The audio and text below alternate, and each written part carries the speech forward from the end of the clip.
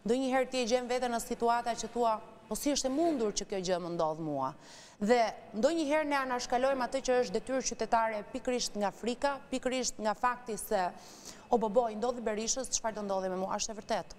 Mund t'i ndodhë kujtdo nga ne. Pasiguria në vend ka kapluar çdo vend, çdo cep të Shqipërisë. Dhe nëse ne nuk reagojmë dhe qëndrojmë kafeneve, ulemi, pimë kafe dhe themi, a këta të PD-së nuk e sollën ndryshimin? Më fal, po nëse secili nga ne nuk do të bëjë detyrën qytetare, nuk do të ndodhë ndryshimi. Mos e prisni vetëm nga Partia Demokratike. Partia Demokratike është ajo parti e cila është krijuar pikërisht nga lëvizja qytetare për të krijuar ndryshimin e regjimit po, po, të asaj kohe.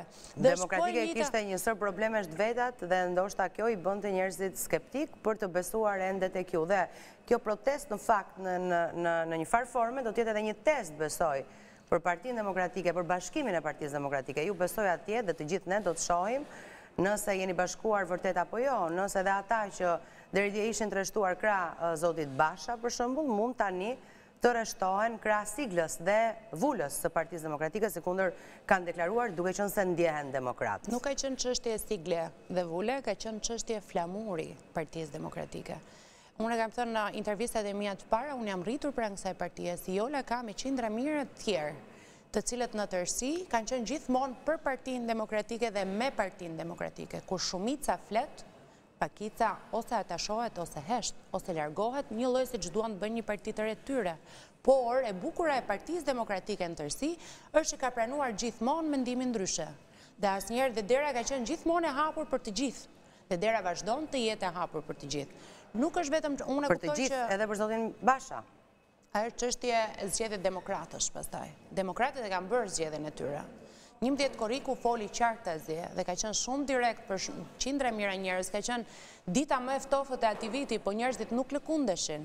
Dhe unë i bëj thirrje që në njëmbëdhjetë korrik mund të jetë ndoshta një nga ditët më të nxehta, njëlloj siç qe shtatë korriku, nga ana tjetër njëzet shkurti që nuk qe ditë e pakët në tërësi. Por shqiptarët vendosën të qëndrojnë aty. Dhe ajo që unë i kërkoj shqiptarëve është që të jenë të qëndrushëm dhe të vendosur në këtë nismë. Jo vetëm për Partinë Demokratike, po për familjen në tërësi, sepse po degradon familja në tërësi. Kemi plagë të madhe emigrimin, dhe jemi në dy mijë e njëzet e katër, unë e kuptoj që flitet për globalizim, por a janë këto të dhëna realisht çështje globalizimi?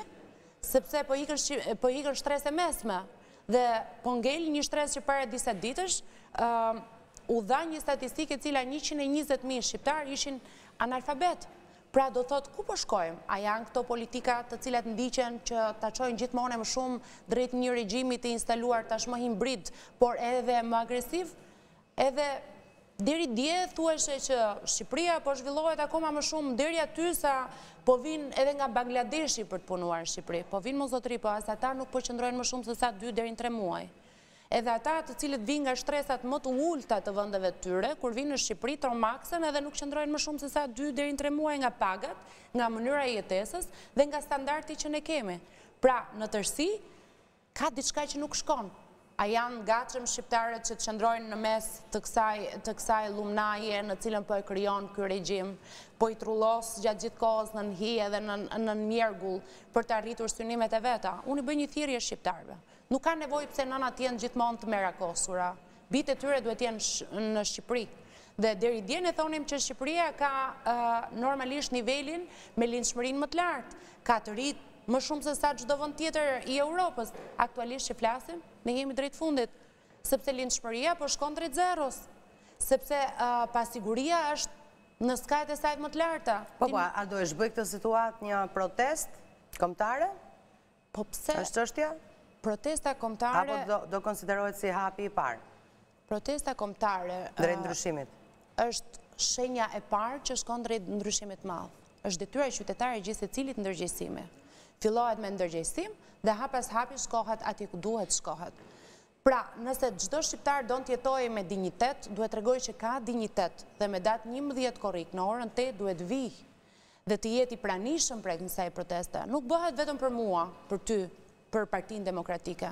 Bëhet për secilin prej nesh që në përditshmëri ka nevojë për frymarrje, ka nevojë që kur të dalë të jetë i sigurt, që kur të nisë një nismë të re mos presi që obobo më erdhi taksat, obobo nuk arri dot nga ana social-ekonomike, ku pjesa e euros dhe lekut ka një disbalancë.